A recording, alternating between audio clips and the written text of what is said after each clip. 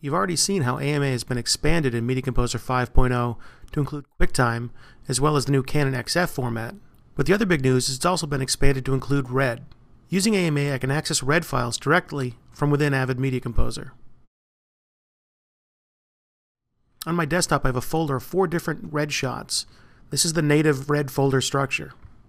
With one click, I have access to all four clips directly inside my bin you can see that we retain all the metadata captured with the red camera.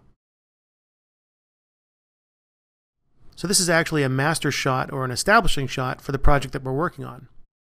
You might notice a small problem with this clip in that it's letterboxed. The red camera has options for recording different aspect ratios. In this case, this is a 4K 2 to 1 aspect ratio clip. So you can see that it doesn't quite fit in our 16 by 9 HD sequence. To fix that, we'll use the new reformat function in Media Composer 5.0. I can choose to stretch, pillar box or letterbox, center crop, or center and keep size. In this case, I'm going to center crop the clip. Now you can see that it plays back correctly with the right aspect ratio.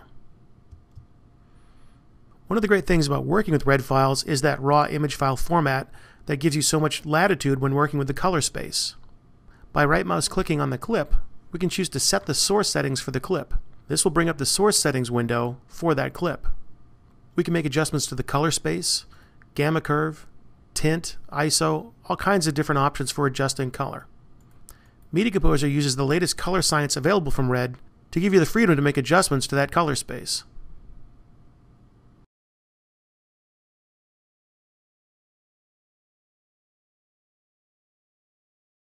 You can even choose to load a custom RMD file created in the camera or created in another application such as REDCINE-X.